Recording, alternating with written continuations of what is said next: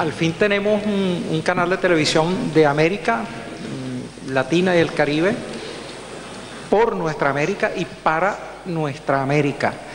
Es impresionante en los estudios que he hecho de, comunicaciones cómo cerca del 47% del material que se teledifunde es enlatado y en algunos países, y eso varía con el grado de desarrollo, llega al 60% y más.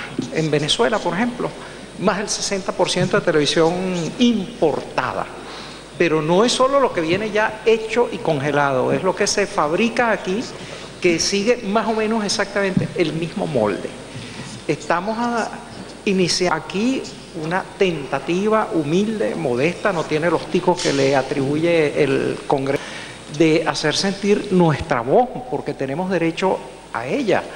Tenemos derecho a reconocernos, a conocernos, a estimarnos, a analizarnos, a criticarnos nuestra propia voz, nuestra propia mirada, nuestros propios objetivos.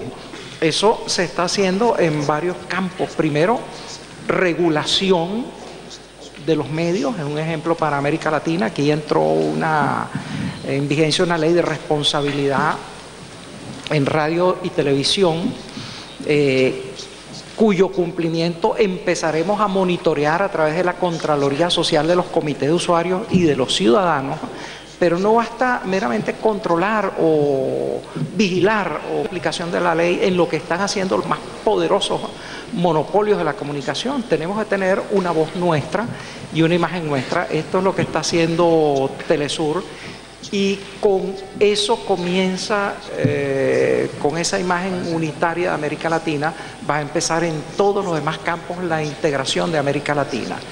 Porque la pregunta ya no es si América Latina se va a integrar. Señores, eso es un hecho, eso está ya dado. La pregunta es bajo qué signo se va a integrar América Latina. Si vamos a ser integrados como neocolonia por el imperio más poderoso de la Tierra, o si nos vamos a integrar nosotros mismos por nuestras iniciativas, con nuestros intereses y siguiendo nuestros puntos de vista. Eso es el tema de la época y del instante actual y Telesur yo creo que va a ser una de las más poderosas herramientas en ese proceso de que la unidad de los latinoamericanos sea verdaderamente la unidad de la América nuestra, por nosotros, de nosotros y para nosotros.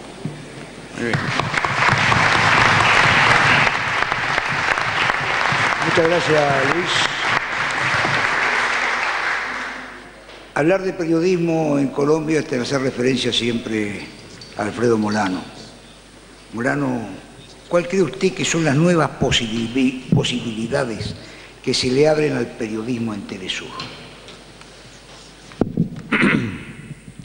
Bueno, lo hemos, lo hemos dicho, se ha dicho aquí en esta sala.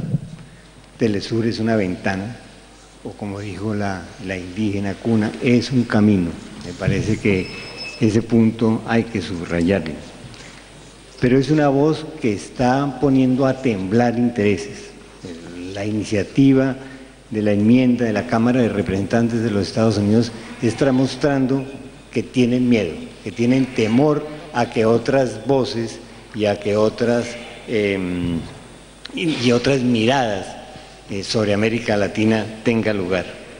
En Colombia en particular, se está notando ya el nerviosismo que hay en los medios, el nerviosismo que hay en el gobierno de que haya otra voz, una voz disidente que irrumpa, una voz que disuene en el conjunto de ese de esa, eh, eh, monstruoso sistema que han encontrado de autocensura. Y yo creo que Telesur en ese sentido también es muy importante, porque es la oportunidad de que los periodistas muestren que son capaces de superar la autocensura, de que son capaces de ser independientes y de ser libres.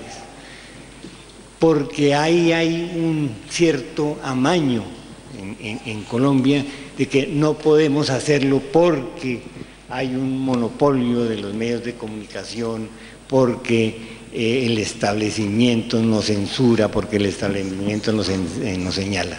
Me parece que Telesur está viendo una gran posibilidad de independencia crítica de los periodistas. Quisiera hacer una referencia a la situación que, mm, que estamos viviendo en Colombia hoy con relación al periodismo. No es solamente la autocensura, es la censura directa. Hace pocos días, eh, una, emisora indígena eh, fue, no, yo no diría censurada, fue eh, cerrada por, la, por la policía, una emisora indígena de, de una región muy importante en Colombia, al sur. El sur también existe en Colombia que, mm, que transmitía en lengua nasa, en lengua indígena, y naturalmente tomaba posiciones muy críticas frente al gobierno. Pues un día, una noche, una mañana, una madrugada, llegó la policía, eh, cargó los equipos de, de transmisión y se los llevó. Y liquidó la emisora por ahora. Y esa comunidad indígena es una comunidad que ha hecho marchas sobre ciudades colombianas tan importantes como Cali con 20 o 30 mil indígenas.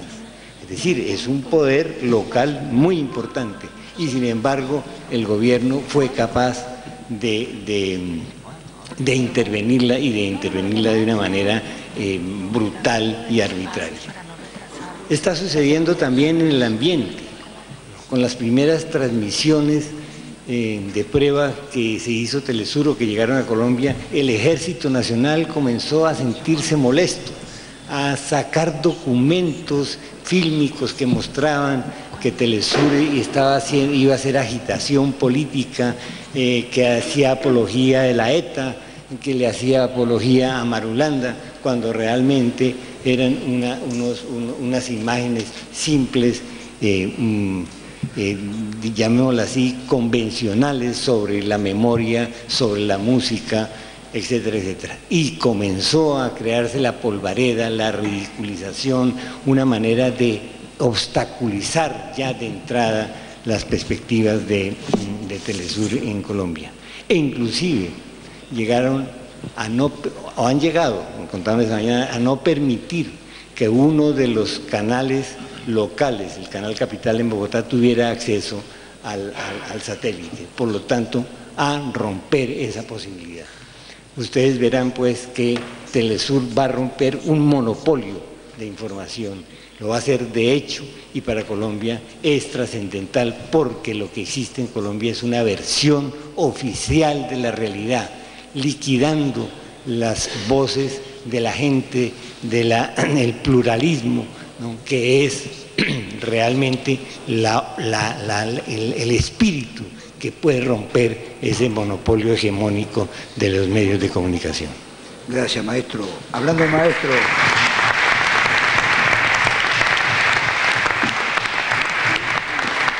Decía, hablando de maestro, con nuestros propios ojos. ¿Cuál es el imaginario que tiene el mundo de América, eh, sobre América Latina de hoy? ¿Qué tarea tiene Telesur para cambiar ese imaginario que hay en el mundo? Yo creo que eh, Telesur tiene una enorme responsabilidad desde ese punto de vista. Eh, una responsabilidad porque nace en un momento el próspero discurso único. Y también está en crisis porque eh, el público en general, la audiencia en general, ya no cree los medios.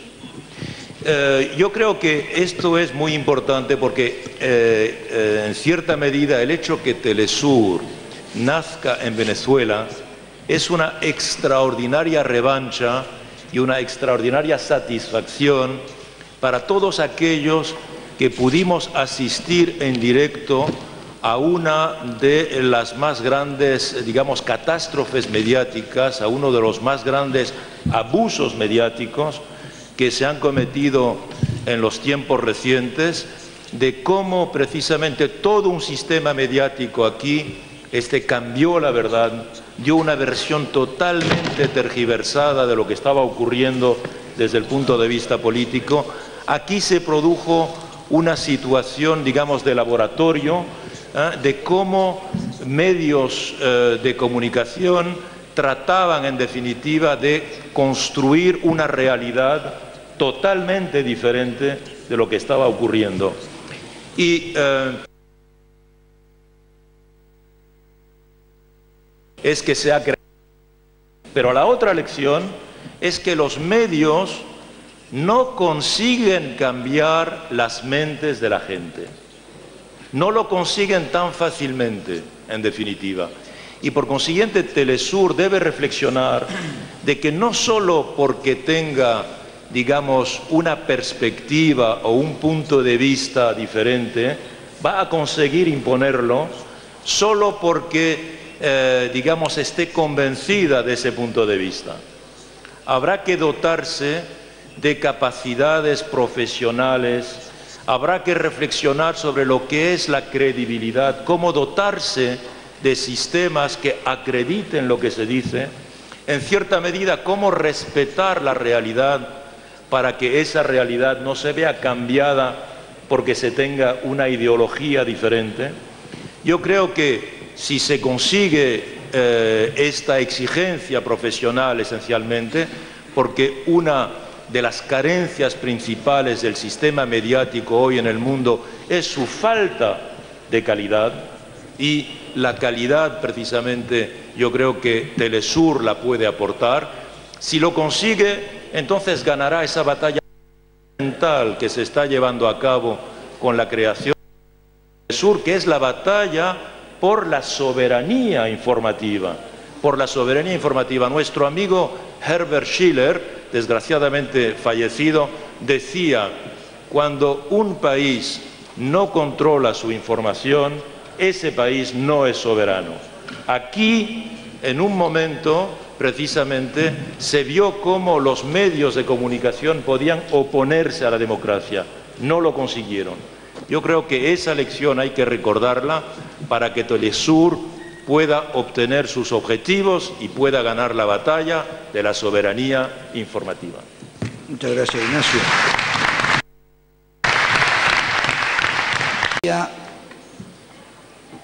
Miguel Bonazo, veterano periodista, disculpe lo de veterano, pero me consta, ahora diputado también.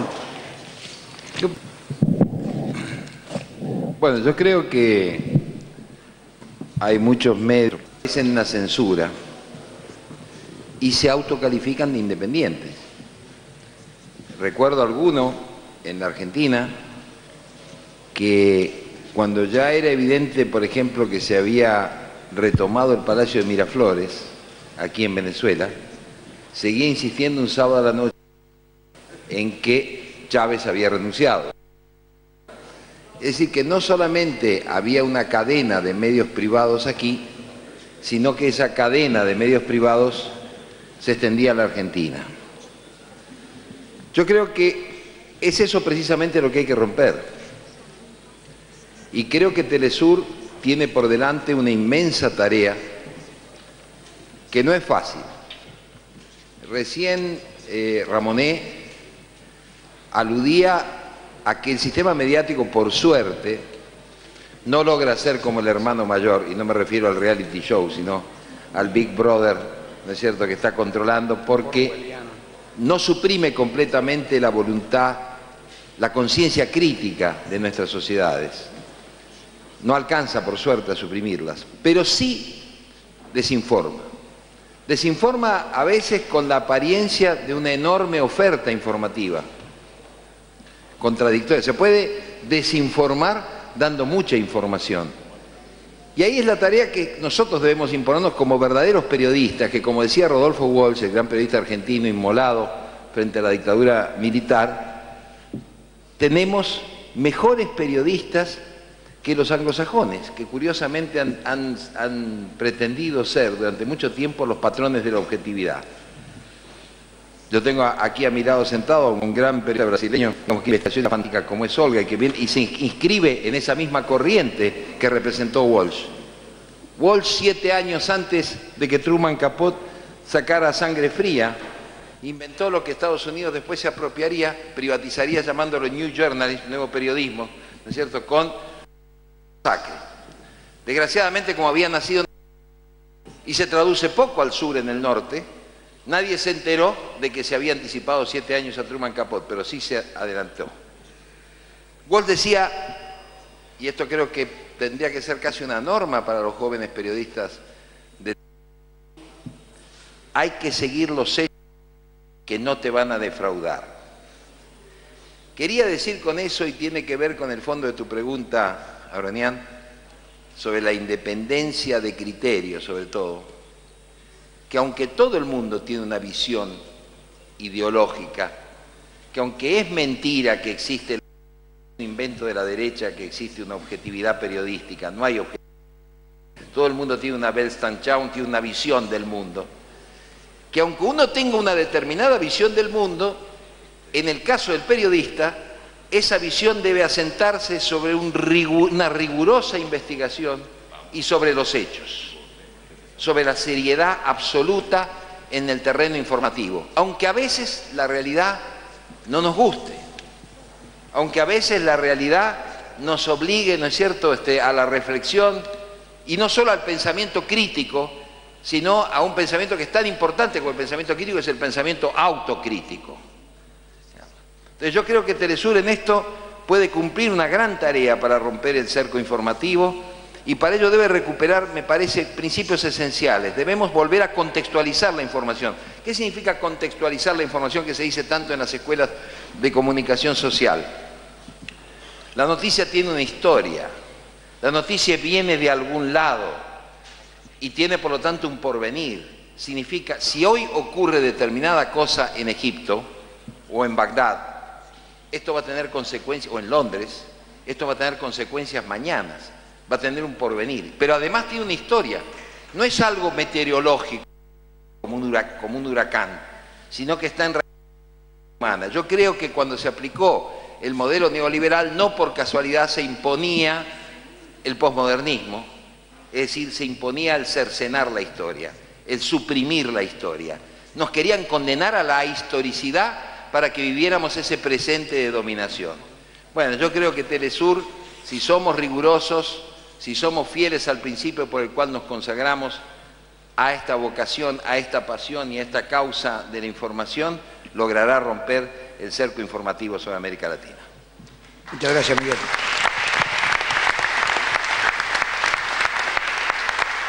posibilidad de estar frente a otra verdad, una nueva verdad. Certainly the idea of the dream implicit in the thinking of the great Dr. Martin Luther King. Creo que este sueño que estamos viendo es un sueño coherente con el de Martin Luther King. As an artist, the great Paul Robeson once said, it's not enough for me to reality, the truth that is, the reality that is, but I want to create the truth in the world that we want to create. Eh, la realidad que queremos que crear también distanciada con la verdad. In this sense, en el Telesur has an enormous responsibility. En este sentido, Telesur tiene una gran responsabilidad. Because it not only has to integrate porque no solamente tiene que integrar the possibilities for Latin America, los pueblos de América Latina, it has to, in some sense, resuscitate, resuscitate the realities también tiene que integrar las realidades eh, y enfre para enfrentar al uh, giant to the north often eh, el gigante del norte eh, a menudo tiene más eh, posibilidades. I, I want to first note that this year, as well as being the 20, 222nd year of uh, of Boulevard's birth. It is also the 80th year of Malcolm X Shabazz's birth. Este aniversario de Simón Bolívar, este eh, eh, 222 años del nacimiento de Simón Bolívar coinciden con el nacimiento también de, eh, o la celebración de los 80 años del nacimiento de Malcolm X. Malcolm once said that if we don't know where we come from, if we don't know where we are, we won't know where we're going. Malcolm X dijo una vez que si nosotros no sabemos eh, de dónde venimos, si desconocemos nuestro, pro, nuestra procedencia, no sabremos tampoco hacia dónde ir. The question stands precisely what ideas will we consume? Bien, la pregunta entonces está allí, es precisamente esa, ¿qué es lo que estamos consumiendo desde el punto de vista de la información? I may be paraphrasing certainly those who have spoken before me and those who will speak after me. Tal vez estoy parafraseando a aquellos que ya han hablado antes de, antes de mí, antes eh, quienes me han precedido en la palabra y tal vez parafrasearé también a quienes vienen. In this battle of ideas, the question becomes how do, how do these philosophical ideas and concepts around culture and development translate into transformative, productive work where bien, en la batalla de estas ideas, eh, creo que la pregunta o la cuestión fundamental va a ser cómo estos conceptos e ideas filosóficas pueden eh, transformarse, pueden traducirse en un trabajo eh, transformador y productivo. and what is the constructive implementation ¿Cuál es la puesta en práctica eh, constructiva and dissemination of these ideas within the real world? y cómo diseminar estas ideas en el mundo real? What are the stories? ¿Cuáles son las historias? What are the histories ¿Cuál es eh, la historia within these new cultural and political industries? en esta nueva eh, industria política y cultural? And that's critical. Y eso es fundamental. As I look around the table, even though myself and James Early represent African descendants from the United States, Cuando eh, veo eh, esta mesa donde estamos todos reunidos, solo mi persona y Jimmy Early representamos justamente a los afrodescendientes de Estados Unidos. I see no Afro descendants from this very region. No veo afrodescendientes de esta región del sur. As, as Tariq Ali said, that it's important that as an advisory committee to advise. Y bueno, como decía justamente Tariq Ali, la función de este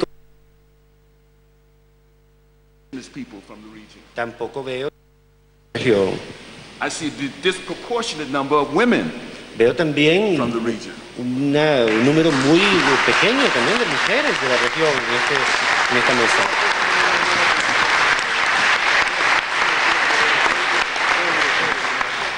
As we present and as we begin to, it's critical that we keep in mind are talking to. Bien. Justamente-. En el, des- en el desarrollo de estas ideas es importante siempre tener en cuenta con quién hablamos y para quién hablamos. The idea itself has to translate into, as Paul said, the reality that we want to create. Por supuesto, The esta new world that idea, we want to create. justamente esta idea tiene que traducirse, tiene que transformarse en la realidad que queremos crear. How can we, how can this be important for, for, for Afro-descendants in Americas to learn, to learn Es importante justamente para los afrodescendientes de la- América Latina que aprendan, that Afro-Colombians para los afrocolombianos, are most affected, affected more than any other part of the Colombian population in the war on drugs that is initiated by los afrocolombianos, por ejemplo, son country. las personas más afectadas en la lucha contra las drogas en ese país. which has given billions of dollars to the, the Colombian government. Es justamente el, el que es más víctima del problema y de los ataques del gobierno colombiano. To understand the high levels of, of xenophobia and insecurity, El alto nivel de xenofobia y de inseguridad que sufren estas comunidades and the militarization of borders, y la militarización de las fronteras which is directly attributed que se atribuye directamente to the current forms of global integration. These important, a important information. a justo- justamente a esa integración globalizante. And as a filmmaker Como cineasta and somewhat of a historian, y alguien que ama la historia, I'm always moved by the ability to resuscitate and renew our historic, historic memory. siempre me siento movido hacia la necesidad justamente de revisitar nuestra y de re- reivindicar nuestras raíces y nuestra eh, memoria histórica.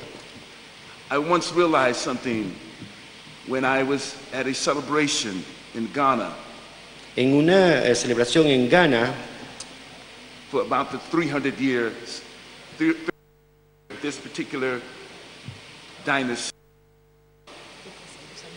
in Ghana, a dynasty, 300 años de la dinastía en Ghana, that They understood something clearly about entendieron themselves algo muy claro, because they saw themselves through their resistance porque se to vieron domination. a través de la resistencia contra la dominación. We must elevate, Debemos elevar, we must embrace those examples of resistance. debemos abrazar ejemplos de resistencia como los de esa oportunidad. Like Malcolm said, Como decía Malcolm, we only know where we're going if we understand where we've come from. Thank you. solamente sabremos a dónde vamos cuando sepamos de dónde venimos. Gracias. Aún nos falta escuchar a muchas de las personalidades que nos acompañan en este día cuando estamos mostrándoles a ustedes la señal inaugural de Telesur. Nuestro norte es el sur. Más adelante continuaremos con esta interesante charla que además nos llena de responsabilidades. Sí, exactamente porque tenemos palabra el periodista Mario Giordano. Gracias Venezuela, ¿cómo están ustedes? Es un placer poder comenzar a intercambiar ideas, pensamientos, poder expresar en voz e imagen la forma que vemos el mundo de este lado de Latinoamérica. Aquí en Latinoamérica los argentinos básicamente, yo tengo el gusto, y ustedes lo nombraron, que me acompañe un miembro asesor de Telesur, el profesor Atilio Borón, que se encuentra a mi lado. Lamentablemente no está con ustedes ahora, pero sí está acá. Y yo tengo el gusto de poder conversar con el profesor. ¿Cómo está usted? Bien, buenas tardes, gracias. Y un saludo a todos los amigos de Venezuela y felicitaciones por esta gran inauguración de Telesur. Profesor, básicamente lo que yo le pregunto y lo que le preguntamos todos, lo que queremos saber es la forma, ¿qué significa mirarnos con nuestros propios ojos? Bueno, creo que es un elemento fundamental, ¿verdad? Acá se habló muy bien de la soberanía informativa, la soberanía comunicacional que tienen que tener nuestros países. América Latina, lamentablemente, hasta ahora no había tenido posibilidades de ejercer esa soberanía y eso es fundamental. Si no nos podemos mirar con nuestros propios ojos, no se puede constituir una identidad y el sujeto que no se constituye como tal está condenado a ser objeto de dominio de otros. De manera que la idea de constituirnos, ¿no es cierto?, a partir de una mirada propia que nos reconozca, que nos permita identificar, acá muy bien decía Danny Glover, de dónde venimos y hacia dónde vamos. La identidad. La identidad es un punto fundamental y fíjese usted que toda la estrategia de los oligopolios que controlan las comunicaciones en América Latina ha sido la de permanentemente tratar de diluir la identidad de América Latina. Un trabajo permanente, sin pausa, ¿verdad? Tratando de formar o deformar nuestra conciencia a los efectos de adaptarla a lo que es el modelo esperado por parte fundamentalmente de los Estados Unidos, que tiene, digamos, un interés fundamental en esto. Exacto. Eh, profesor, eh, ¿qué significa, de su modo de ver, de su pensamiento, para la Argentina y para Latinoamérica, este primer paso, lo que es hoy Telesur? Bueno, creo que es eh, un primer paso importantísimo. Acá se dijo, se dijo por parte de los compañeros que están en Caracas, me parece que es dar inicio a una tarea, una tarea que va a ser durísima. Se dijo acá muy bien de que no hay que pensar en que eh, basta con poner esto en el aire, es necesario un trabajo extraordinariamente eh, eh, duro, de, profesional, eh, pluralista, abierto, porque, decía muy bien Ramonet, hay una crisis también en los medios. La crisis de los medios es la baja credibilidad que los medios tienen, ¿no es cierto?, en todo el mundo. Nosotros vamos a tener que luchar contra esa herencia de la baja credibilidad, pero me parece que ya el solo hecho de poner esto en movimiento es un acontecimiento importantísimo y lo revela muy claramente la respuesta que el Congreso de los Estados Unidos ha dado, ¿no es cierto? Ellos, ellos, ellos están muy preocupados por este tema. Y yo creo que, eh, ¿por qué están preocupados? Bueno, porque saben que a pesar de las limitaciones con las cuales nos vamos a encontrar, las diferencias de recursos económicos extraordinarios entre los que están en manos de los grandes oligopolios y los nuestros, nosotros tenemos algunos elementos muy importantes. Creo que podemos ganar la batalla de la credibilidad. Creo que eso que decía Bonazo, dejar que los hechos se explayen a sí mismos y nosotros facilitar esa comunicación, nos va a dar una ventaja enorme. Obviamente los Estados Unidos saben muy bien que esto es una iniciativa peligrosísima para ellos. ¿Por qué? Porque el componente de dominación ideológica hoy es más importante que lo que pueden tener cualquier otra dimensión, la económica, la política o la militar, porque saben que dominando nuestras conciencias todo lo demás se da solo, se da por añadidura. De manera tal que la, la- reacción de ellos histérica, es decir, bueno, vamos a procurar que esa señal no pueda funcionar en América Latina, la vamos a, a embarullar, como se dice, jam, ¿no es cierto? Eh, re- refleja la profundidad de lo que puede ser lo- el, eh, Telesur como una alternativa comunicacional en América Latina. Profesor, ¿puede doler que las voces del sur se reflejen en toda Latinoamérica y que se muestren realidades que tal vez no se quieren mostrar? Se du- duele muchísimo, porque acá fíjese que, eh, se- de vuelta, se estoy parafraseando muchas las cosas que se dijeron antes, los medios de comunicación de masas normalmente nos abruman con Exacto. información innecesaria, con la cual nos desinforman. Lo más importante no se dice. ¿Verdad? Entonces uno, el ciudadano tiene una sensación de estar informado porque le arrojan enormes cantidades de informaciones, noticias, pero que no tienen realmente ningún valor, en la medida en que esas noticias no reflejan realmente lo que está aconteciendo. Y además, porque la noticia es necesario también que tenga un esfuerzo de interpretación, de discusión, que, que ser una especie de elemento motivador, disparador de un diálogo, de una discusión, cosa que no se hace. Nos arrojan las noticias, por ejemplo, terrorismo, ¿verdad? Y además fíjense ustedes cómo, actua- cómo ha actuado en general la prensa. Eh, en Egipto han fallecido el doble de las personas de los atentados terroristas que hubo en Londres. Sin embargo, el impacto mediático ha sido completamente diferente. ¿Qué es lo que se dice? Bueno, señores, hay ciudadanos de primera, que son los que mueren en una ciudad europea o norteamericana, ciudadanos de segunda cuya muerte, aunque sea dos veces superior, eso no importa tanto. O, por ejemplo, el silencio de la prensa sobre los 25.000 muertos civiles que hasta ahora lleva la, la ocupación de Irak, de los cuales prácticamente no se habla nada. Entonces, sí que importa, es fundamental que esa, ese, ese nuevo medio de comunicación exponga hechos e interpretaciones que permitan su adecuada comprensión. Profesor, eh, yo creo que la, fundamental, para terminar, la palabra integración es lo que va a basar todo el nacimiento y toda la duración de Telesur, ¿no le parece? Absolutamente. Y ahí de vuelta tenemos el gran dilema, lo planteaba Luis Brito García recién. eh, eh, el proceso de integración está en marcha y aceleradamente. El tema es el signo. Atilio muchísimas gracias. Nos ponemos en contacto nuevamente con Venezuela. Muchísimas gracias por todo y a partir de hoy y diariamente nos comunicaremos. Gracias.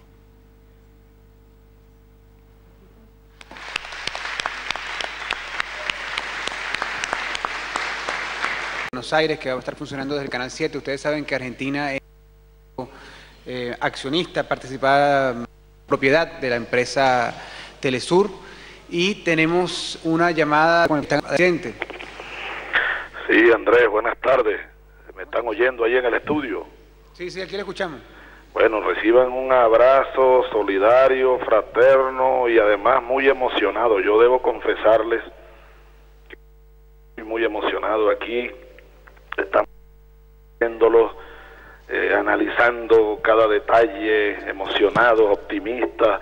Estoy aquí junto con Pepe Mujica, el ministro de Agricultura del Uruguay, del hermano gobierno y pueblo del Uruguay que nos está visitando. Estamos con Jerónimo Cardoso, el embajador de- del gobierno de Tabaré, aquí en Caracas. Estamos con Ali Rodríguez y un grupo de, de buenos amigos y compañeros. Estamos viéndolos, bueno, con ojos de optimismo fraterno y, y bueno, como les dije, muy, muy emocionados, ¿no?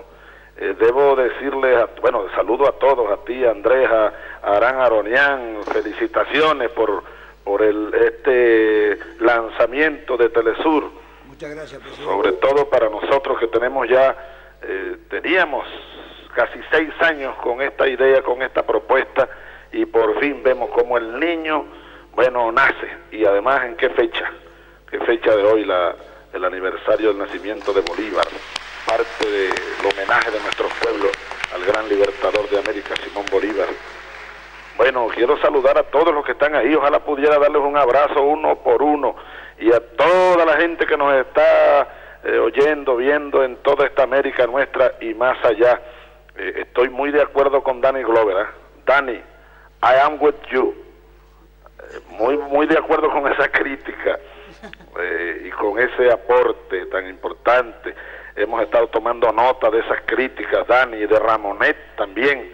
Ignacio, un abrazo a todos, todos los que están ahí en el estudio, Fernando Moraya, Pino Solana, eh, Dani, a Tariq Ali, Manuel Cabiese, Ernesto Cardenal, un abrazo, hermano, a Miguel Bonazo, a Stalman, a todos, a todos y a todos los que están, a los embajadores agradecidos por su presencia.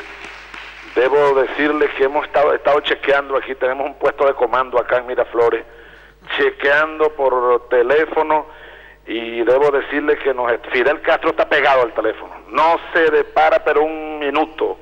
Allá en La Habana nos está viendo toda Cuba En Washington nos están viendo también. Creo que Mr. Bush está pegado al televisor mirando la transmisión de Telesur. Vamos a saludar al pueblo de los Estados Unidos. Eh, bueno, estamos pendientes aquí también con las antenas nuestras, a ver si, si ya vienen de regreso la, lo que han, nos han amenazado con, con un canal, no sé, unas emisiones para tratar de, de neutralizar a Telesur. Hasta ahora le hemos metido el primer gol. De allá para acá no se oye, pero ni pío. Ni pío hasta ahora. Eh, hablé con el embajador nuestro en Washington y están viéndolos allá y en muchas ciudades de los Estados Unidos. Bueno, ya hemos visto Buenos Aires. En Brasilia, estamos saliendo en Brasilia, por supuesto en, en Montevideo en Asunción, en Bogotá, en buena parte de Centroamérica, en el Caribe, todo un éxito, en verdad. Ha nacido Telesur. Bueno, yo soy católico y muy cristiano, pido a Dios que acompañe a todo este esfuerzo por el bien de nuestros pueblos, ¿no? Y algún comentario, déjenme decirles que además eh, Beto, Beto y Patricia, bueno, muy, muy buena su, su dirección allí, ¿no? La, animación eh, de esa pareja de buenos periodistas latinoamericanos, Beto Almeida, Patricia Villegas, les saludamos. Muy buenas las imágenes, muy buenas cámaras, hay que felicitar a los camarógrafos que han estado trabajando. Hay que felicitarlos a todos, los camarógrafos, los, los trabajos que se han estado produciendo, los videos han estado fenomenales también, buen sonido, buena imagen, buen color, hay una buena escena. Eh, creo que en verdad es un honrón, hablando en la jerga del béisbol, o un buen gol para hablar, bueno, como los futbolistas, ¿no? Eh, decía Arán que nos están goleando. Arán, tú dijiste que nos estaban goleando, ¿no? Sí, que nos habían estado goleando. Ah. Ahora empezamos a remontar la cuesta. Va a costar, pero eso estamos. ya metimos el primer gol. Eh, bueno, y eh, voy a copiarme de ti también. La niña bonita, Telesur, es una niña bonita, en verdad, para, bueno, para la integración. Andrés Izarra estaba recordando una frase que, bueno, que hemos recogido por ahí de las calles de los pueblos. Este, enamorarnos de la idea de la integración, enamorarnos de, de lo que somos, la conciencia, como dice Víctor Hugo en Los Miserables, no es más sino la suma de la ciencia, es decir, la suma del conocimiento. Entonces la conciencia de lo que somos es vital, vital. Ya oíamos a Danny Glover este, recordando aquella, aquel gran revolucionario, a Malcolm, ¿no? Tenemos que saber lo que hemos sido para poder ser, entender lo que somos y luego transformar al mundo a través de la, de la conciencia y, de la, y de la acción, de la acción directa. Este canal yo que hace poco recibí la presidencia pro tempore de la comunidad andina y ahora Venezuela está asociada a Mercosur, debo decir que este canal es, va a ser bueno, vital para, para la integración de, la América Latina y del Caribe, para conformar en esta parte del mundo lo que decía Bolívar, miren por aquí, por aquí tengo una copia del discurso de Angostura, de ese cumpleañero de hoy, el gran cumpleañero de hoy, decía Bolívar que él soñaba soñaba ver en esta, en esta parte del mundo una, una gran nación, ¿no? La unidad, la unidad de estas tierras y proponía la Liga de Repúblicas, la integración y, llamaba al final de su discurso, permítanme leerle leerles una frase, dignaos, clama él, conceder a Venezuela un gobierno eminentemente popular, eminentemente justo, eminentemente moral que encadene la opresión, la anarquía y la culpa, un gobierno que haga reinar la inocencia, la humanidad y la paz, un gobierno que haga triunfar bajo el imperio de leyes inexorables la igualdad y la libertad, tal cual lo dijo Bolívar por allá en 1819. Bueno, yo no sé si Andrés, eh, ¿cuál, es, cuál es el guion yo no quiero fastidiarlo tampoco, ¿no? Con una perorata. Hoy no hubo aló presidente, no quiero transformar esto en aló presidente. Sí, no, presidente, yo quería pedirle a Ernesto Cardenal, ya que usted había bendecido el canal eh, con buenos augurios, si Ernesto Cardenal nos daba algunas palabras y intercambiaba con usted, pues, esa encomienda. Me parece muy bien. Yo no tengo, ah, Ernesto, es que yo no tengo autoridad para bendecir, Ernesto sí. Presidente, yo Igual que ustedes, estoy sumamente emocionado, he estado al borde de... Yo nunca lloro, pero realmente ahora he estado casi llorando viendo esto. Entiendo también cómo ha sido eh, en el natalicio de, Bolívar este nuevo avance de la revolución bolivariana, de todos nosotros, de toda nuestra América, y esta televisión que es también nuestra independencia en, en- en lo mediático, en la comunicación, la soberanía nuestra.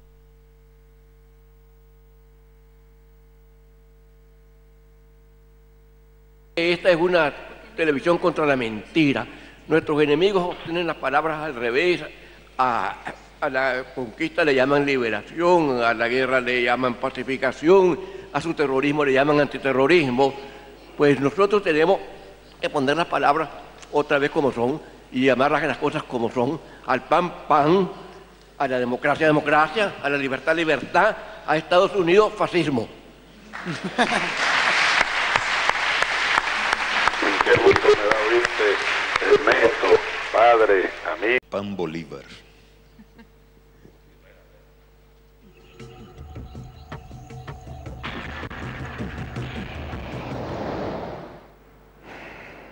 Isaac Vargas tiene 70 años. Su niñez transcurrió en medio de la violencia partidista de los 50. La adolescencia la marcó el cuartel y lo sorprendió en Corea, combatiendo al lado de los mil compatriotas que integraban el Batallón Colombia. Al soldado Vargas, las balas extranjeras lo mandaron de regreso a su país. Mientras las heridas sanaban, la imagen de Bolívar daba vueltas en su cabeza. una persona que envuelve todas las ilusiones del vivir, por qué trabajar, por qué fundar, por qué crear. Es un ideal que llevo siempre desde pequeño. Ese ideal, a fuerza de la necesidad y el desempleo, lo llevó a la panadería. Bolívar entonces se convirtió en el pan de cada día, ese que amasa desde hace 40 años. Un alimento patriótico, un alimento de, de fervor patrio, un alimento de sentimiento de patria.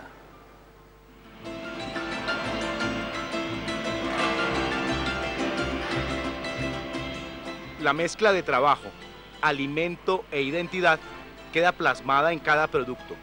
El horno y sus aromas no dejan perder en la memoria el genio y la figura del libertador Simón Bolívar. Aquí se amasa otra fortuna, la del referente histórico. Es una idea que me nació también de hacer circular, entrar el pensamiento de Bolívar a las casas. Y así, se, así he, eh, he impreso muchos decretos del Libertador, muchos pensamientos que son la, la- delicia en la mesa de los colombianos. No es solamente el beneficio económico, el mensaje social, el mensaje patriótico que se pueda transmitir por medio del pan.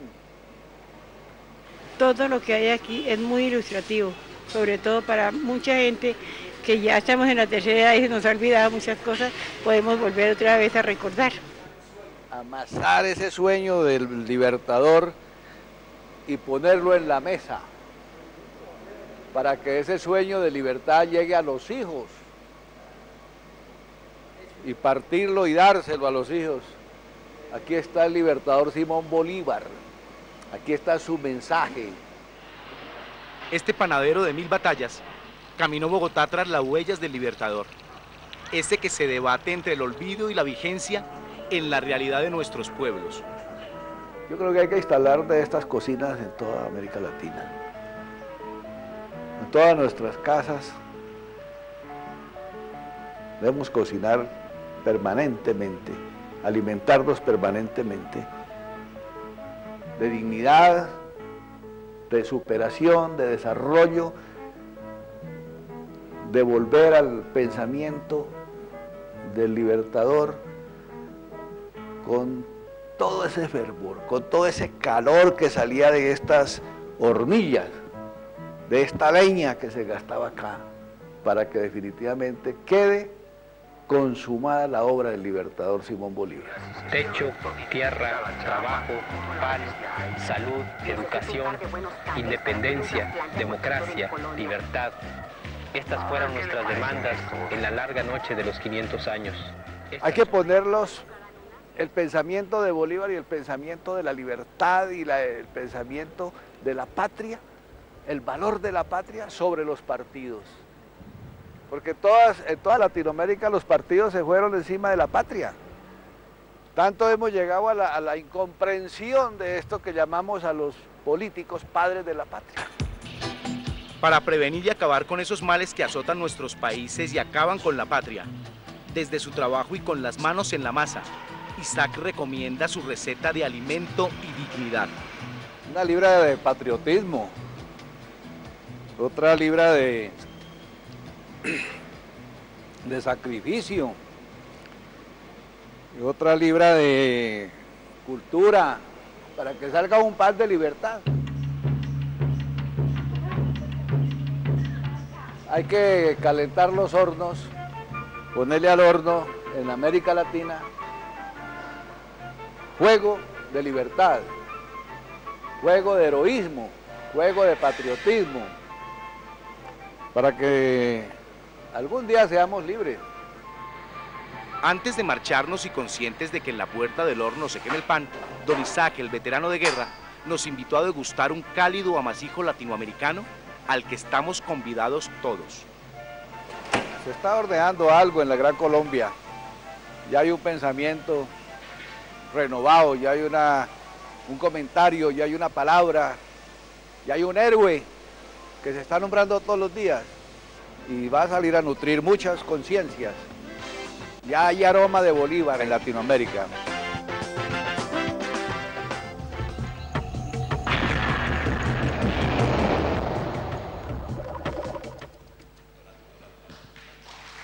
Ahí estaba pues la crónica del pan de libertad. Este Unidad declarada por la UNESCO con esta eh, condición.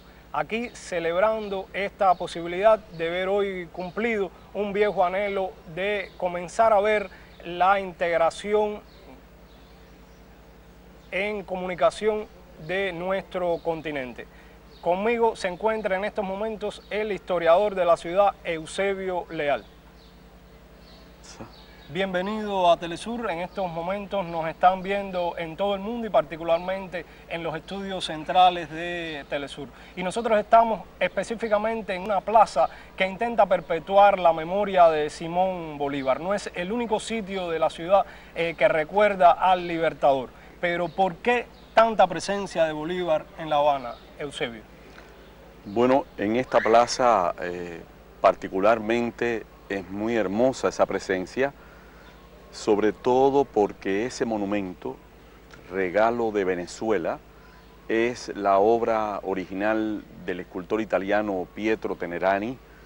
Fue realizada muy pocos años de la muerte de- del Libertador y este bronce fue muy amado por todos los que conocieron a Bolívar y representa mucho la imagen y también el sentimiento profundo de su carácter. Está en el corazón de La Habana Vieja, en esta plaza que lleva el nombre de Bolívar, una pequeña plazuela, conmemorando aquel 25 de marzo del año 1799, el último año del siglo XVIII, en que el navío del rey se detuvo en el puerto de La Habana después de haber atravesado el Golfo bloqueado por las naves británicas y haber llegado a La Habana. A bordo de esa nave venía el joven Bolívar, de apenas 16 años, tal y como aparece en el retrato que conservó siempre su hermana Ma- María Antonia en un medallón que llevaba al pecho. Este es el Bolívar de La Habana. Y aquí en este jardín y muy cerca está la Casa Museo de Bolívar. Está también la Biblioteca Simón Rodríguez, el nombre amado de su maestro. Todo eso está aquí, le da sentido a esa presencia habanera y cubana de Bolívar. pero Bolívar también estaba presente en Cuba en las, eh, en las ideas, en el pensamiento. Y hoy se está cumpliendo un viejo sueño eh, que Bolívar nos, nos ilustró, que era el de la integración. ¿Qué le parece esta idea de Telesur? Es muy importante, Martí fue quizás, si no el más importante, legatario del pensamiento bolivariano. Él creyó en la necesidad de formar a la juventud y a la juventud y a la niñez latinoamericana en la formación del pensamiento bolivariano. Él lo coloca como ejemplo en su libro La Edad de Oro y como paradigma de la condición humana, del ideal de consolidación de, una, de un sentimiento continental, de una vocación americana y al mismo tiempo de una necesidad de conocer profundamente sus ideas. Él creyó que lo que Bolívar no había hecho, y así lo expresa, por hacer estaba todavía. Y de esa manera la juventud cubana ha seguido a lo largo de generaciones esa íntima vinculación entre Bolívar y el pensamiento que él encarnó y la idea de Martí.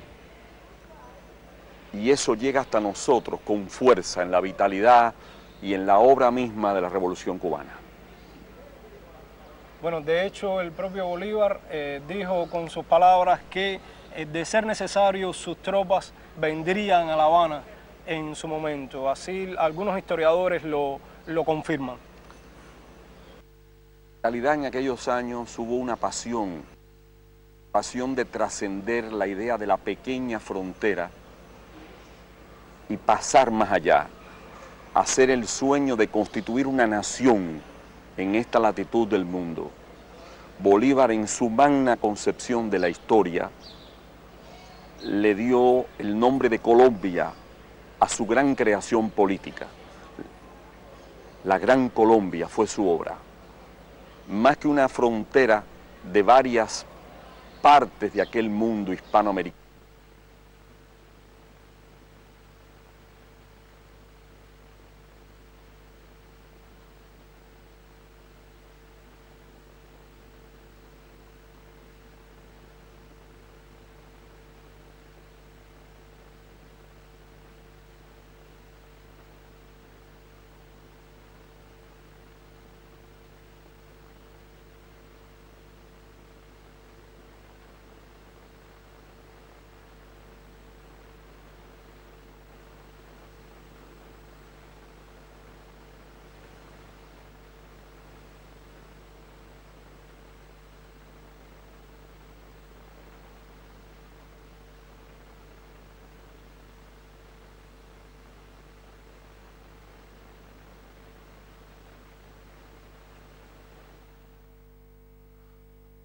Acabamos de presenciar parte, estamos presenciando parte de lo que es la ceremonia inaugural de Telesur. Acabamos de escuchar al corresponsal de La Habana, Rolando Segura. Hacemos una pequeña pausa y enseguida volvemos.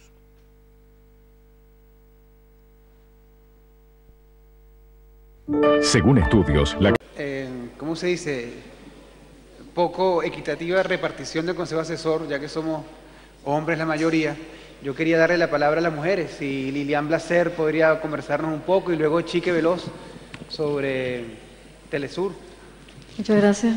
Eh, bueno, es difícil agregar algo con todas las cosas que se han dicho bien importantes, ¿no? Ahora, yo creo que quienes estamos acá, y muchos de los que no estamos acá, pero estamos allá y más allá de allá, estamos cumpliendo un sueño de muchos años y una lucha de muchos años en la que estamos pidiendo la palabra ante el mundo, ¿no? Yo creo que estamos aquí no solamente para que este, esta parte del sur hable, yo creo que es importante que todas las partes del sur hablen. Estamos hablando de África, de Asia, de toda la parte que ha sido callada durante, durante muchos siglos. ¿no? Y en algún momento, cuando el mundo sea uno, entonces seremos también uno. ¿no? Yo creo que estamos acá también para colaborar con el desarrollo de una comunicación endógena, inclusiva, veraz, que recupere la diversidad de, de nuestras voces y que, eh, así como dijo la compañera que el sur es un camino. Creo que Telesur es un camino para lograr la identidad, que es base de la integración, lograr la conciencia, la memoria colectiva, para construir ese indispensable otro mundo posible y necesario de justicia y de paz. Muchas gracias.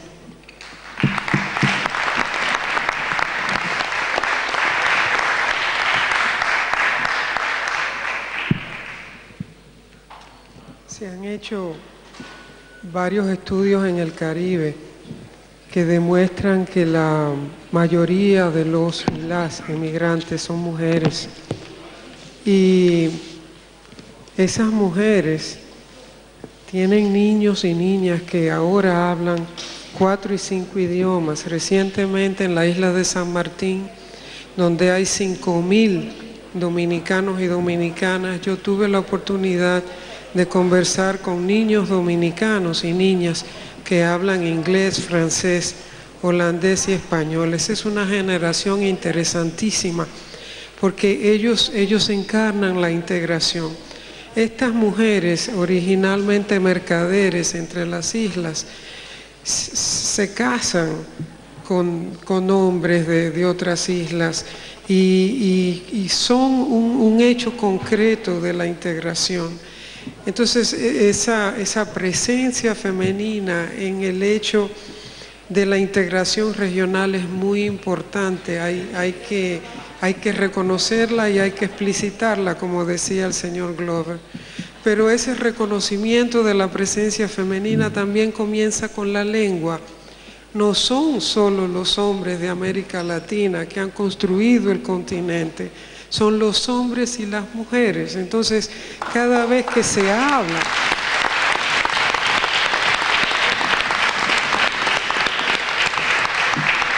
Cada vez que se habla de Latinoamérica hay que hablar de latinoamericanos y latinoamericanas, caribeños y caribeñas, hombres y mujeres, niños y niñas. Las mujeres y las niñas no existen en el español. Estamos todas en este género, eh, que es el...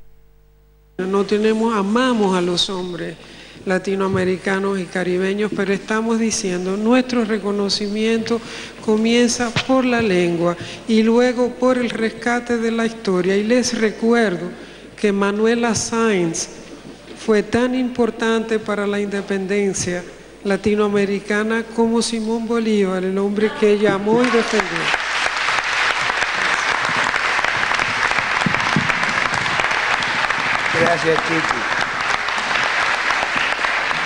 Nos preguntamos si existe una estética latinoamericana, si tenemos que ir avanzando hacia una forma de imagen diferente. Orlando Sena, ¿qué contribución puede hacer un canal como Telesur al cine latinoamericano, por ejemplo?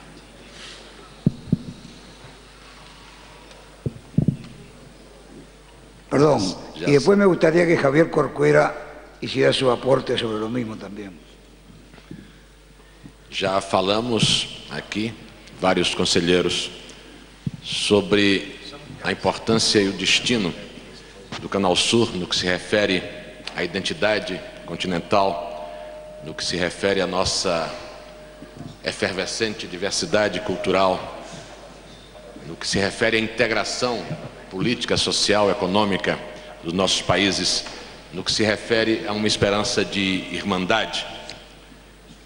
Também se falou, que eu acho muito importante, na necessidade de rompermos o cerco informativo na questão da soberania mediática referida por Ramonet e também em como vamos nos traduzir para nós mesmos e para os outros através da televisão, através deste canal. Eu queria me referir especificamente ao que acaba de ser mencionado, ou seja, a necessidade de uma presença maior de mulheres nos níveis de decisão desse canal. Mas não apenas das mulheres. Também temos de ter nesta mesa mais afrodescendentes, mais representantes dos povos indígenas e, principalmente, eu creio, mais representantes dos jovens, da juventude.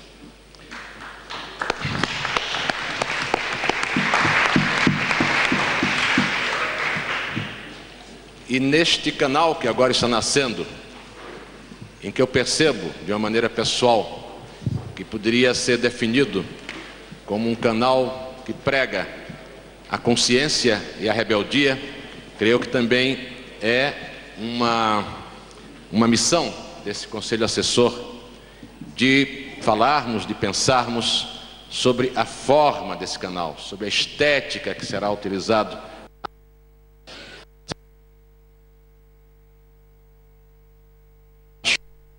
de nos de tentar nos traduzir de uma maneira mais pessoal, com um estilo bem mais nosso. Temos de abandonar, abandonar talvez esses enquadramentos a meio corpo, temos de pensar em como nós devemos é, nos pronunciar audiovisualmente para os nossos povos. E aí entra o que Adam acaba de me pedir, ou seja, a relação com o cinema latino-americano. A marca maior do cinema latino-americano sempre foi a inovação, sempre foi a criatividade, sempre foi a proposta de novos caminhos estéticos. E eu acho que esse deve ser também o caminho da Telesur. Muchas gracias, Orlando. Javier.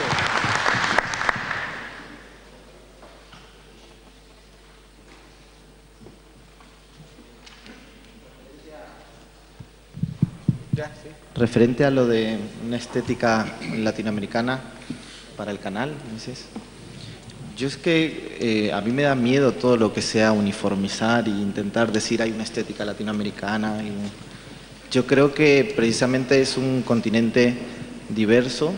Creo que, que los estados que componen ese continente son estados que componen naciones. Dentro de esos, continentes, de, de esos estados hay otras naciones que lo que yo creo que sería muy grave sería que en esta televisión no se sintieran representadas. ¿no?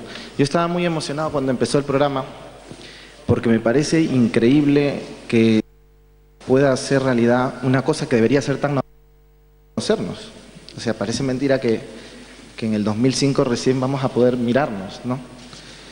Y cuando apareció esta niña que dijo, que le preguntan qué es el sur y dijo, eh, es un camino, pues volví a la realidad y me asusté porque dije, ¿y ahora quién va a caminar? ¿Cómo vamos a caminar? ¿No? De la mano, vamos a caminar respetando las diferencias, garantizando la independencia de, este, de este canal, vamos a, caminar sin uniforme.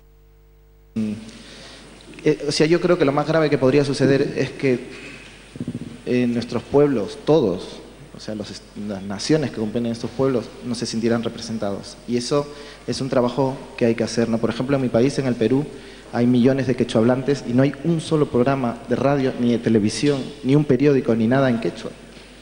Eh, yo creo que, que hay que garantizar, caminando todos juntos, pero garantizar la diversidad de nuestro continente. ¿no? Y eso es garantizar también una, una televisión diversa, una televisión que, que, nos represente es una televisión diversa. ¿no? Yo creo Muchas gracias, Javier. Muchas gracias por compartir con nosotros lo que son sus expectativas frente a Telesur. Bom, antes de passarmos para o nosso próximo passo, queria informar que nesse momento a Telesur está sendo assistida lá no Brasil pela TV Paraná Educativa, pela TV Capibaribe do Recife, lá em Pernambuco, terra onde nasceu o general Abreu e Lima, pela TV comunitária do Rio de Janeiro, TV comunitária de Niterói, TV comunitária da Rocinha, a maior favela da América Latina, uma comunidade de brios, uma comunidade cheia de inteligência, de criatividade, pela TV comunitária de Florianópolis, pela TV comunitária de Porto Alegre, lá no sul do Brasil, e também pela TV comunitária de Brasília. Y ahora, Patricia, ¿para dónde vamos? Nos vamos para Colombia, a Bogotá, a su capital, en este viaje virtual que hacemos hoy en Telesur, donde nuestro norte es el sur. Allí se encuentra desde el Parque de la Independencia nuestro compañero de trabajo, Eduardo Manzano. Eduardo, buenas tardes. Ah, Patricia, muy buenas tardes. Estamos precisamente, como usted lo informa, en el Parque de la Independencia, en pleno centro de la capital colombiana. Este sitio es visitado constantemente por muchas personas jóvenes, deportistas, eh, personas que vienen aquí a hacer ejercicio, personas que vienen aquí a expresar sus eh, eh, diferentes actividades musicales, actividades recreativas, actividades creativas además. Detrás de mí está el edificio de la biblioteca departamental y yo estoy en este sitio acompañado de muchas personas que han venido a asistir aquí al lanzamiento de Telesur. En este momento me acompaña uno de ellos, quien es William Ospina, escritor, ensayista, conocido nacional e internacionalmente por todas sus producciones literarias. William, bienvenido. ¿Cuál es la importancia que usted ve para Telesur o de Telesur para Colombia específicamente? Bueno, es un saludo en primer lugar muy grande para todos los que están echando a andar este proyecto tan importante para nuestro continente.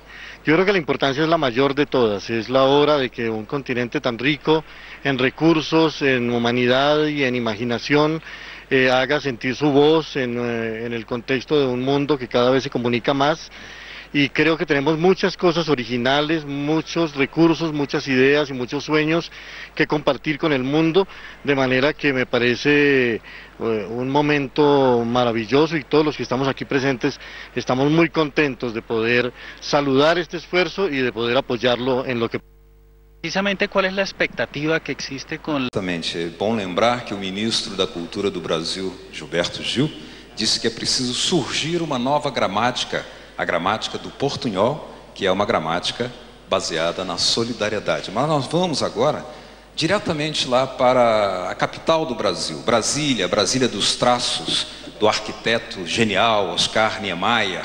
E é lá na TV comunitária de Brasil que desde já um ano transmite eh, programação venezuelana. Aliás, o programa Alô Presidente já se transformou num sucesso dominical lá em Brasília. Nós vamos conversar agora com o nosso correspondente lá no Brasil, lá em Brasília, na TV comunitária, o jornalista Iraê Sassi. Almeida. Beto Almeida. Queremos transmitir aí a vocês, no estúdio central da televisão, um abraço fraterno, expressar a nossa emoção por essa conexão, por esta, por esta iniciativa, por esta criança que nasceu, como disse o presidente Hugo Chávez. Queremos agradecer, em nome do presidente, a todo o povo venezuelano por esta ocasião que tem sido dada à China inteira, a todo o nosso continente, de expressar o próprio pensamento e a própria cultura. Estamos aqui, de certa maneira, no local onde essa criança nasceu. Aqui em Brasília, onde há muitos anos este sindicato dos jornalistas de Brasília debateu, lutou por este meio de comunicação. Estamos aqui com vários convidados, personalidades e apoiadores da televisão comunitária e estamos dispostos a levar adiante esse trabalho que é um, que é um desafio muito grande, como foi expressado pelos debatedores, e gostaríamos então de passar a palavra aqui ao nosso companheiro e também diretor aqui da nossa sucursal de Brasília, Paulo Miranda, que vai entrevistar os nossos convidados e vai apresentá-los para vocês.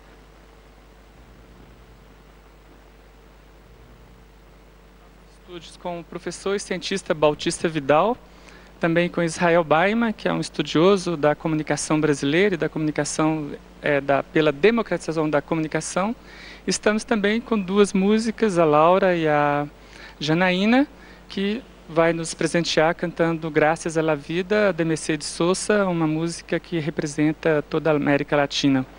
Professor Bautista Vidal, como o senhor vê a, a estreia, a inauguração dessa TV Sul, da importância da TV Sul? Atribui-se essa TV Sul um papel absolutamente fundamental, porque isso vai significar uma integração real, né? integração de comunicação, no momento em que a Venezuela está tomando posições eh, de liderança no contexto americano, eh, procurando um desenvolvimento autônomo, eh, procurando a independência, defender a soberania, porque nossos povos precisam se unir para defender a nossa soberania. Nós precisamos deixar de ser colônia de quem quer que seja e afirmar o nosso potencial. Isso só será possível através da união todos os, as regiões mundiais se agregam eh, para ter mais poder no, processo de competição, como é o caso da, da União Europeia, né? É, nós temos muito mais razões para estar juntos, né? os países da América Latina, que eu, aliás, prefiro chamar América Ibérica. Além dessa, dessa iniciativa, que me parece que tem uma importância muito maior que as outras. Há outras iniciativas que estão em marcha, por exemplo, a, a criação de uma empresa binacional na área dos combustíveis renováveis. Né? As regiões tropicais vão ter um papel fundamental no mundo futuro, porque o petróleo está acabando. E a Venezuela, o Brasil, a Colômbia, temos que estar juntos para ser os grandes fornecedores. Então, ah, isso é possível e será, é, será muito bem-vindo através do entendimento mútuo. E é muito fácil porque a nossa cultura é a mesma, a nossa visão de mundo é a mesma. Quer dizer, é, precisamos é ter autonomia, soberania para defender o que é nosso, construir uma coisa a partir de, de, de, de interno e não receber de fora. Professor, também, Israel, seu recado rapidinho para nós sobre a importância da TV Sul. É, eu, eu saúdo com enorme alegria de início das transmissões da Telesul é, e só teria a, a, contribuir no sentido de colocar a importância para os nossos, para os nossos povos. Agradecemos então a nossa colaboração de todo mundo e vamos abrir para a música para que nós podemos ouvir um pouco da nossa música também.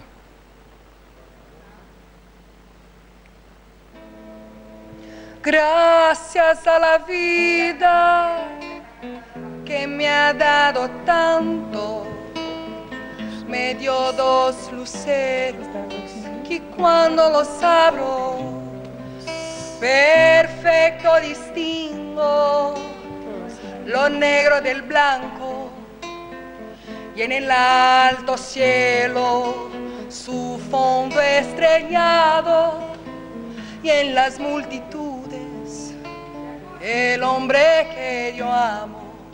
Gracias a la vida que me ha dado tanto. Entonces, muchas gracias a TV Comunitária do Brasil, a todos os que nos deram essa brilhante e essa graças à vida também, que é um momento muito propício. Né? Sí, además lo único que nos hizo falta fue su guitarra. Para una próxima. Otro día, sí. Comprométase a algo también usted aquí en esta primera emisión de Telesur. Bueno, y volvemos con el ministro de Comunicación e Información de la República Bolivariana de Venezuela para escuchar a los últimos personajes que nos acompañan y que son miembros del Consejo Asesor de Telesur. Sí, una de las experiencias de televisión educativa más interesantes que se están desarrollando ahorita en América Latina sucede en Argentina y tenemos a Tristan Bauer, eh, quien ha sido uno de los impulsores este, de, esta propuesta y de la cual tenemos que aprender aquí en Telesur. Quisiéramos escucharte, Tristan. Bueno, primero compartir la inmensa emoción la emoción que hablaba el presidente, que hablaba Ernesto Cardenal, la alegría. Creo que este momento es, histórico y creo que tenemos nosotros una, una inmensa, inmensa y de verdad responsabilidad. Comunicación es poder y creo que el primer poder es el del conocimiento y ese conocimiento y la construcción del camino del sur que hablaba esa niña es el que tenemos que ir desarrollando, ir creando. En la Argentina también estamos trabajando en, una televisión educativa, en una televisión que sea una alternativa al discurso único, a la televisión basura, una televisión que sirva para el crecimiento para el mejoramiento humano, como, como diría Martín. Volviendo a la emoción, creo que sobre eso debemos trabajar nosotros como creadores de imágenes.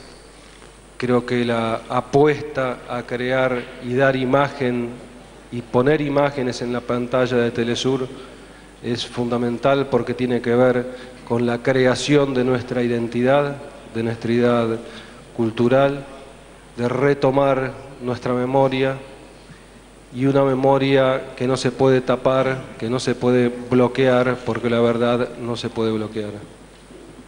En la Argentina en estos días ocurrió una historia increíble por lo metafórica.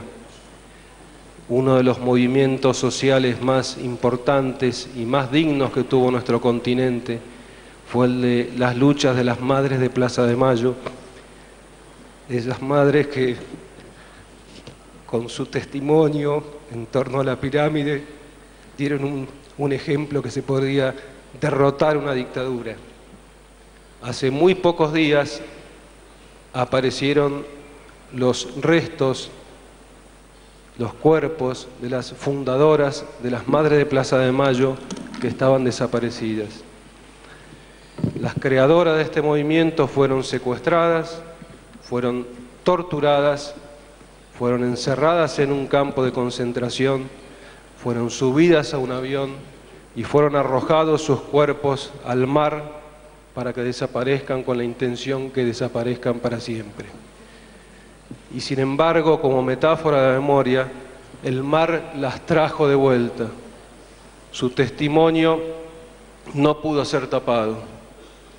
Las trajo de vuelta, las llevó a las playas de la Argentina y sus cuerpos hoy aparecen y son un testimonio más del horror, pero también son un testimonio más de que la lucha y que la esperanza tiene sentido y que nosotros podemos ganar varias batallas. Y que tenemos la obligación de librar esas batallas y de ganarlas, porque nosotros creo que no debemos ser historiadores, sino que debemos ser luchadores. Y creo que como periodistas, y retomando a Bonazo con Walsh, tenemos que ser, conocer que toda nuestra América Latina conozca el ejemplo de Walsh, que es un periodista, pero es un luchador, un luchador por la independencia, por la libertad y por la verdad.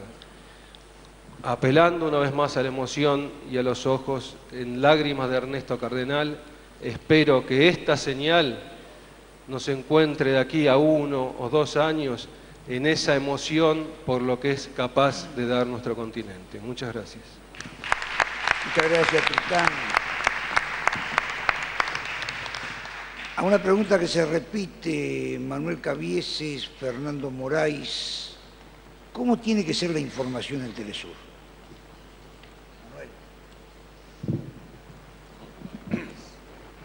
Bueno, yo pienso que Telesur va a tener que hacer un gran esfuerzo de, de calidad en la información, de calidad en el análisis, de calidad en el diseño del contexto en que ocurren los hechos, de manera de ser convincente con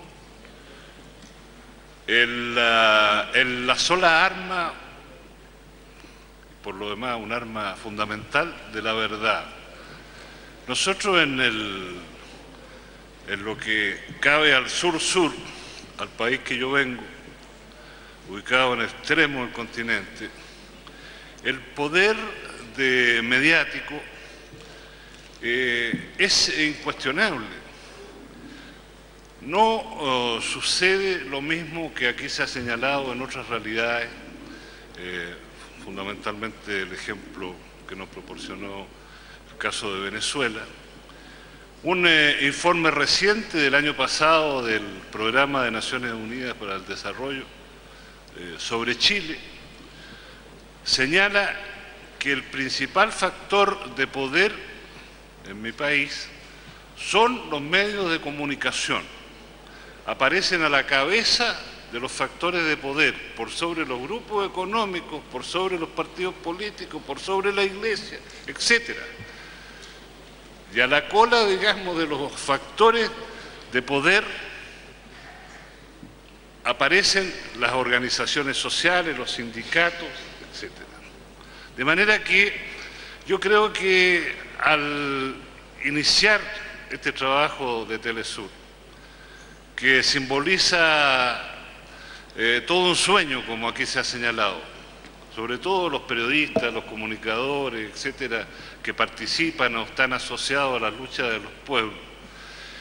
Eh, pienso que hay que iniciar esa tarea con un eh, gran propósito de profesionalismo, de calidad, de independencia de criterio, de poder eh, dignificar, por decirlo de alguna manera, la verdad para oponerla a los imperios mediáticos que en países como el caso de Chile, donde el modelo neoliberal ha arrasado prácticamente, eh, se requiere una información que sea veraz, que sea oportuna, que incluya todos los elementos del análisis necesario para formarse criterio, que ayude en definitiva a despertar las conciencias adormecidas, digámoslo así, que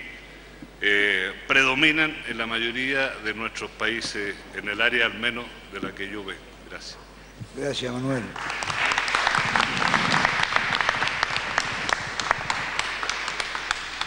Cajas de libros.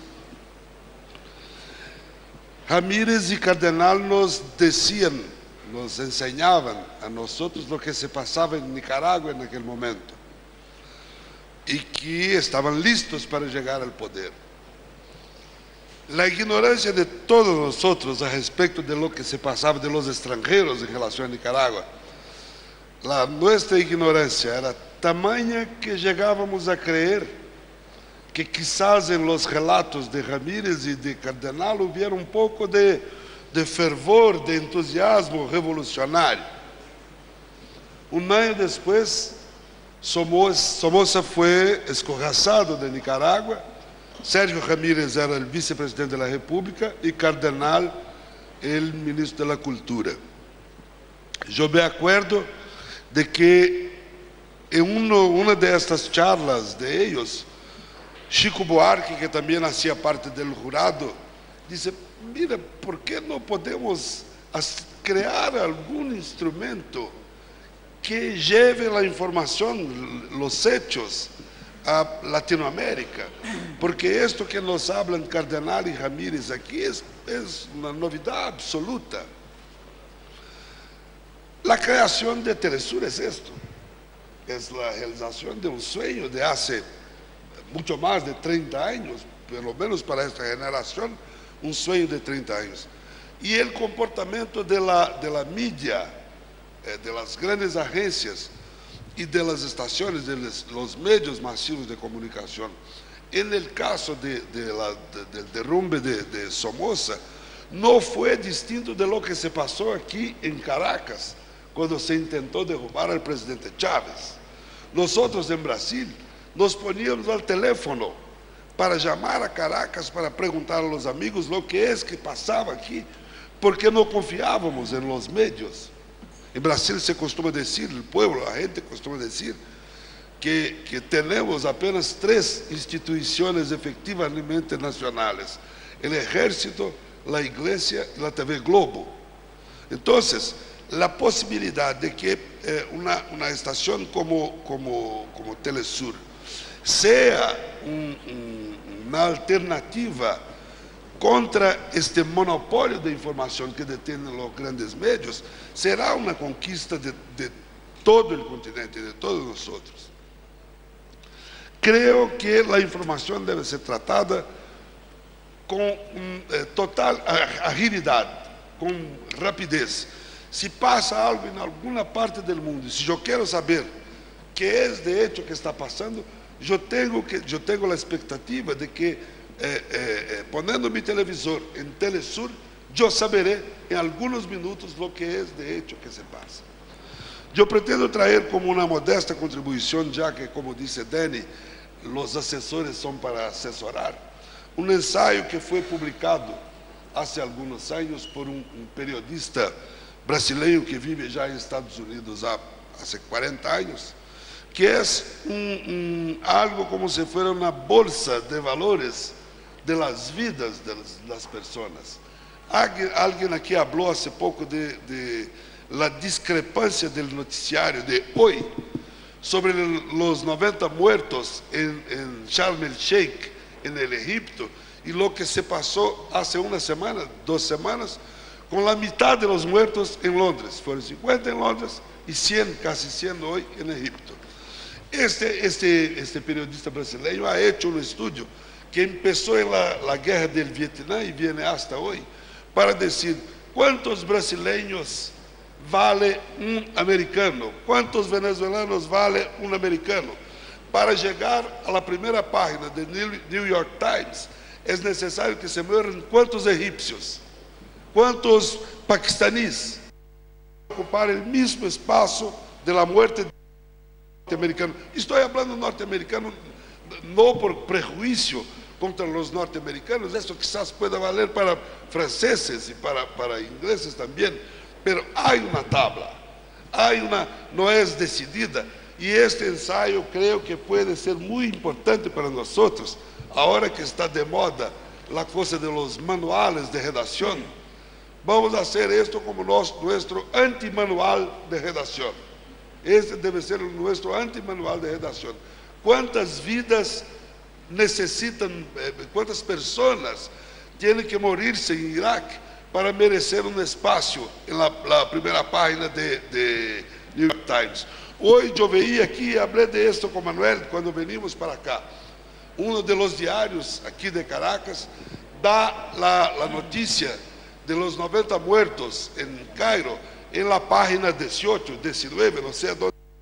E há 10 dias toda a primeira página com os atentados de Londres. Então, eu creio que temos que ter, primeiro, criterios nuestros de avaliación de lo que se pasa en el mundo. En segundo lugar, absoluta agilidad. La gente, y, en esto será muy importante que se haga una, una, amarración con Internet.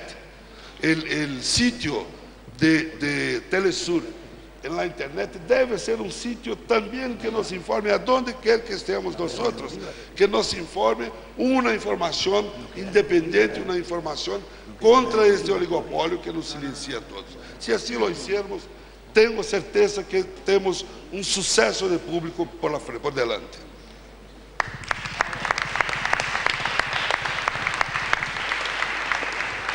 Bueno, señores, eh, por razones de tiempo tenemos que dejar este acto, esta conversación con el Consejo Asesor de Telesur hasta aquí. Eh, hay otros eventos que tenemos que cumplir hoy con motivo del natalicio del Libertador. A las 5, sin embargo, continúa la sesión de trabajo sobre el documento que mm, tenemos planteado que surja de estas discusiones de estos dos días, hoy y mañana.